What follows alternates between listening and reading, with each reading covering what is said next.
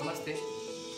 आजको मेरो यो दुई शब्द कुलमान घिसिङ सरको लागि हृदयदेखि नै अँध्यारो सहरलाई उज्यालो गरायो अँध्यारो सहरलाई उज्यालो गरायो देशको मुहार हेर्ने बनायो देशको मुहार हेर्ने बनायो।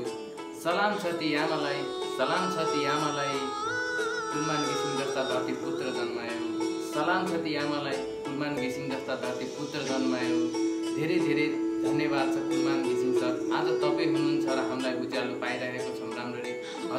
हजुर हुनु भएन भने त थाहा छैन अठार घन्टा घन्टाको लोड सेडिङ पहिला हुन्थ्यो।